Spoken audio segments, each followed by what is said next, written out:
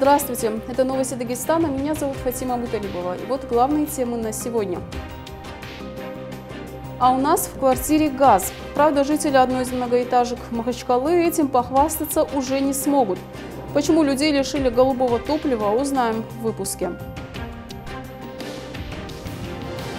День памяти великого полководца. 4 февраля вспоминают имама Дагестана и Чечни, предводителя горцев имама Шамиля. О том, каким он остался в памяти дагестанцев, расскажем через несколько минут. Главная достопримечательность Дербента. Совсем скоро в парке «Патриот» завершится установка экраноплана «Лунь». Мастер-класс от чемпиона. Абдурашид Садулаев показал свои лучшие приемы юным спортсменам Новосибирска. В частном одноэтажном жилом доме в Карабдахкенском районе произошел взрыв, взорвался газовый баллон. Последующего горения не было, сообщает пресс-служба МЧС по республике. Дом полностью разрушен. К счастью, никто не пострадал, так как в момент взрыва в доме никого не было. Махачкалинскую многоэтажку самовольно подключили к газу. Выявить незаконное подключение 12-этажного жилого дома в столице Дагестана к сетям газоснабжения удалось специалистам службы эксплуатации «Газпром» газораспределения Махачкала Советского района совместно с сотрудниками полиции. Капитальное строение соединили с газопроводом пластиковыми шлангами, предназначенными для водоснабжения. Подача голубого топлива в жилой дом из-за вероятности возникновения несчастных случаев приостановлена. Застройщика привлекут к ответственности. Служба эксплуатации Советского района города Махачкала проводит рейдовые мероприятия по отключению шланговых и металлопластиковых соединений самовольно подключенного дома по улице Азизалиева. Вот, это мероприятие проводится совместно с участковым советского РОВД. Это проводится хищение газа однозначное. Шланговые соединения металлопластика проходят через многоэтажный дом в подвальные помещения и идут в квартиры.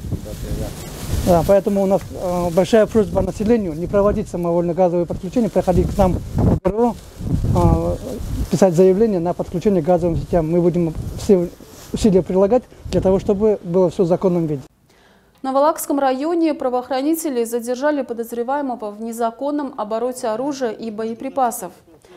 В селе Новочуртах были обнаружены и изъяты пистолет, 287 патронов, бездымный порох, выстрел ВОК-25 и граната.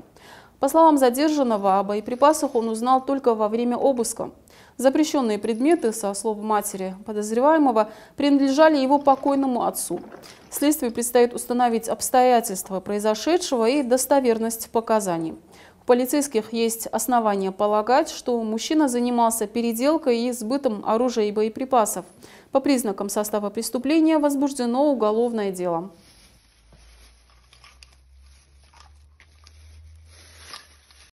Украли велосипед. Накануне в отдел полиции по Кировскому району Махачкалы поступило заявление о пропаже велосипеда.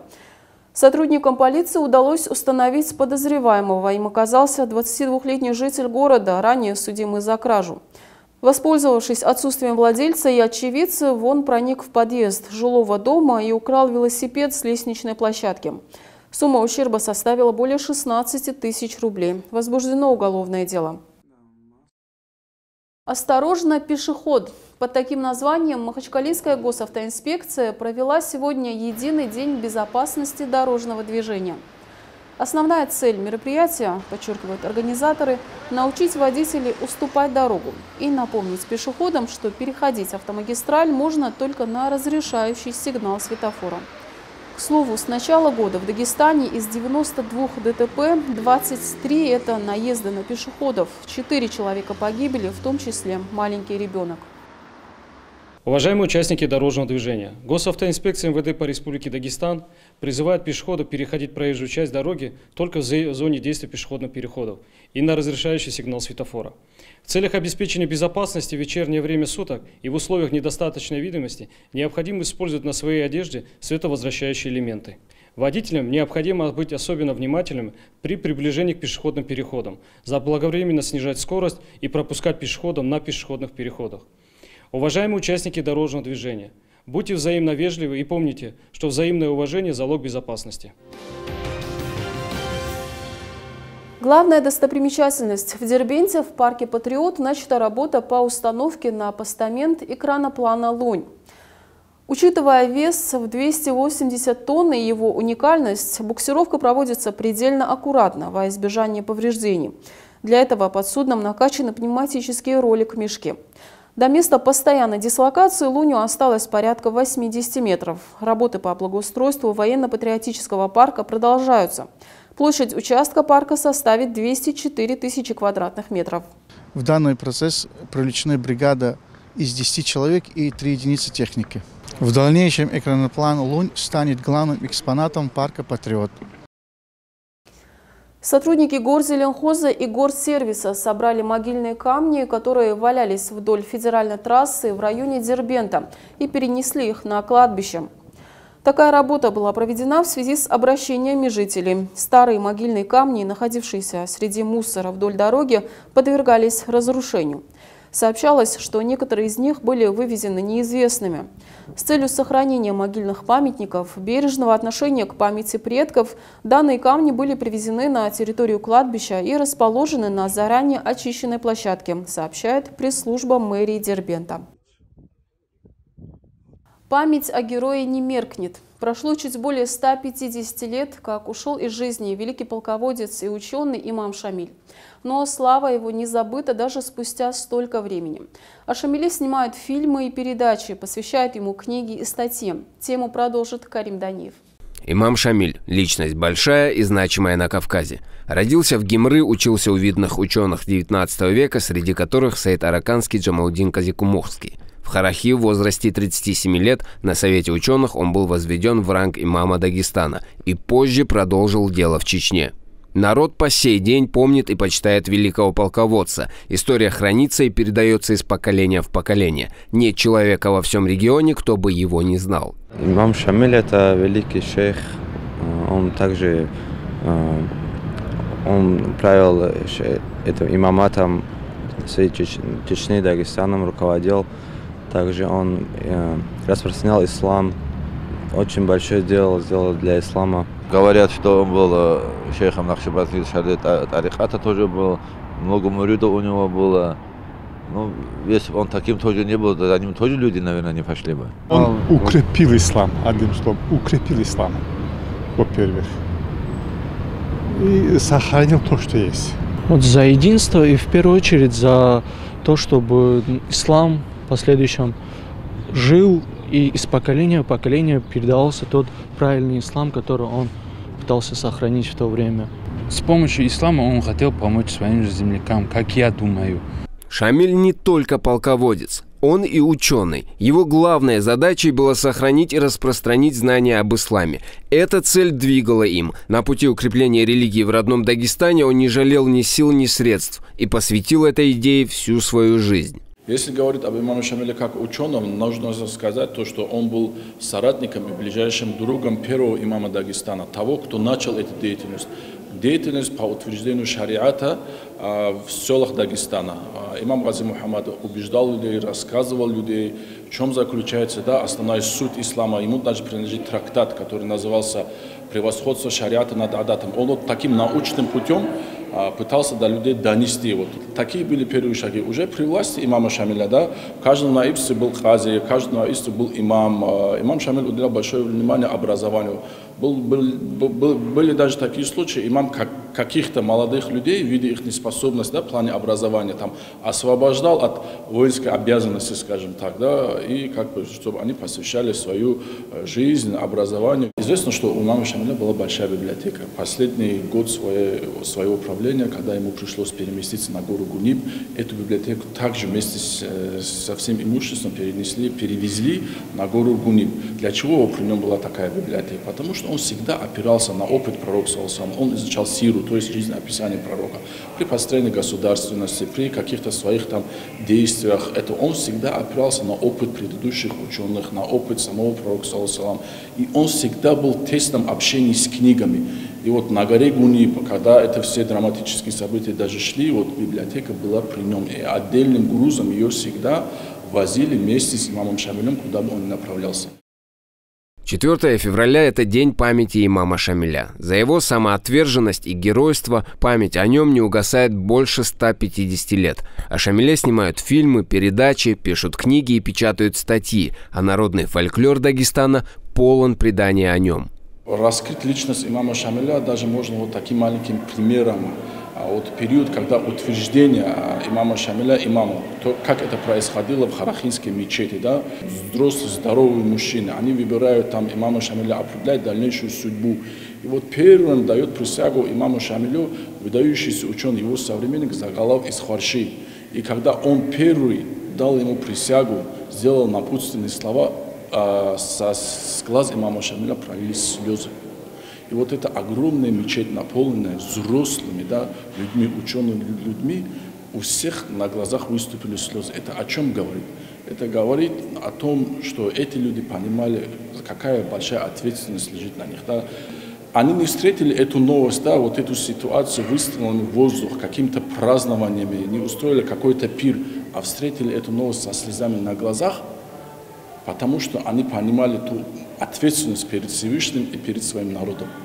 Сегодня такая самоотверженность и идейность нашего предка имеет свои плоды. Благодаря ему объединился некогда разрозненный народ Дагестана, а самое главное, мы имеем возможность беспрепятственно исповедовать свою религию.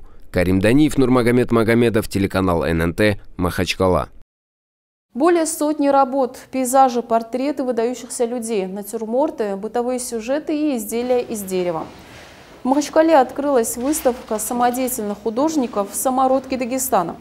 Заявить о своем творчестве благодаря этому проекту, реализующемуся с 2012 года, уже смогли более 50 мастеров-любителей декоративно-прикладного искусства. Сейчас здесь представлены труды Мирисмаила Сиидова из Дербента, а также Гаджи и Ибрагима Сунгуровых из села Ваче Кулинского района – Вернисаж проходит в рамках Года культурного наследия народа в России и продлится до 16 февраля. Ну вот уже в этом году будет 10 лет, как Республиканский дом народного творчества занимается собиранием, изучением э, творчества художников, которые не получили профессионального образования. Ну вот меня иногда спрашивают, что ты так вот пишешь о них много, там, что тебе нравится?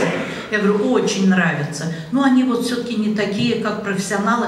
Так не надо сравнивать, это совсем другое искусство. Оно развивается по другим законам. Оно э, дает другой конечный результат. Оно не лучше, не хуже, я это всегда почти говорю, но не все, может быть, как-то вот улавливают эту мысль. Оно не лучше, не хуже профессионального. И вот сейчас была, э, сейчас была озвучена а цифра где-то 50 э, таких вот художников, которые мы ведем этот каталог, собираем их биографии и так далее. Вот. Но я думаю, их намного больше. И каждый раз появляются новые-новые имена, и это, конечно, здорово. Виртуальная экскурсия «Подвиг народа» в Музее Победы теперь доступна для держателей Пушкинской карты. Молодые люди из Дагестана теперь смогут бесплатно рассмотреть экспозиции в панорамной программе. Экскурсоводом выступит директор Музея Победы Александр Школьник. Участников экскурсии познакомят с важнейшими научными открытиями советских ученых и достижениями медицины в годы войны, а также расскажут о великих деятелях искусства, которые продолжали творчество даже в оккупации. Приобрести билет по Пушкинской карте и узнать подробнее об экскурсии можно на сайте музея. Напомним, с января этого года номинал Пушкинской карты составляет 5000 рублей – 2000 из которых теперь можно потратить на просмотр российских фильмов. Владельцами банковской карты могут стать молодые люди в возрасте от 14 до 22 лет. В Тарумовском районе задержан правонарушитель за нелегальную перевозку крупной партии рыбы. А в Дагестане новый антирекорд. Число заболевших коронавирусом – 823 человека за сутки. Об этих и других новостях в кратком обзоре Хамза Нурмагомедова.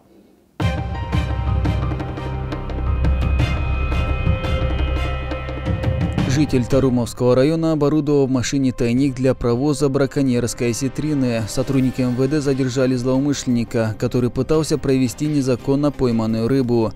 В тайнике оказалось более одной тонны осетрины. В отношении задержанного возбуждено уголовное дело. Новый антирекорд по заболеваемости коронавирусом в Дагестане – 823 человека за сутки. По данным оперштаба, на 4 февраля в регионе зафиксировано более 75 тысяч подтвержденных положительных результатов заболевания ковидом. За последние сутки госпитализировали более 250 инфицированных, 516 выздоровело. 200 миллионов рублей потратит Дагестан на реализацию проекта «100 школ». Как сообщает Минэкономразвития, уже сейчас муниципалитеты республики могут подавать заявки. Отметим, что за 4 года работы проекта было отремонтировано 575 школ на сумму более 800 миллионов рублей. Помимо госфинансирования, на ремонт учебных заведений также привлекаются средства частных инвесторов и меценатов. Уголовные дела в республике за прошлый год нанесли ущерб на сумму более 1 миллиарда рублей. Причем следователи наложили аресты на имущество в сумме более 400 миллионов рублей, тем самым частично возместив ущерб. Еще остались расследуемые дела на 600 миллионов рублей. Как было отмечено, всего следователи передали в суды более тысячи материалов по уголовным делам.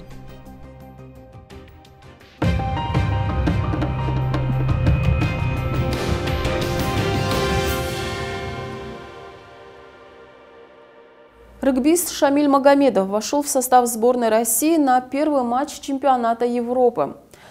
Турнир стартует завтра в Бухаресте. В дебютном матче в столице Румынии российская команда сыграет с хозяевами поля. Воспитанник дагестанской школы регби Шамиль Магомедов сыграл 8 матчей за национальную сборную, в которых он принес в своей команде 5 очков.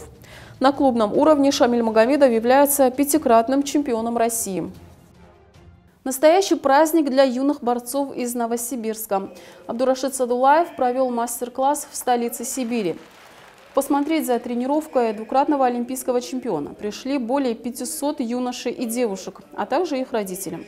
Титулованный вольник показал свои коронные приемы и ответил на вопросы собравшейся публики. Вместе с Адулаевым на мероприятии присутствовали боксеры-олимпийцы Гайдарбек Гайдарбеков и Султан Ибрагимов. После мастер-класса юные спортсмены получили от чемпиона автограф и сделали памятное фото. И на сегодня это были все новости. Смотрите нас также на сайте nntv.ru. Я с вами прощаюсь. До скорых встреч.